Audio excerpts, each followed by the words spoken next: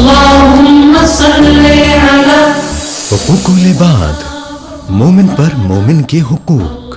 हज़रत अबू हुरैरा रज़ी अल्लाह ताला अन्हो से रिवायत है कि उन्होंने कहा कि रसूलुल्लाह सल्लल्लाहु अलैहि वसल्लम ने इरशाद फरमाया, एक मोमिन के दूसरे मोमिन पर छह हुकूक हैं। जब कोई मोमिन बीमार हो जाए तो उसकी बीमार पुरसी करे। जब कोई मोमिन मर जाए तो उसके जनाजे में शिरकत करे।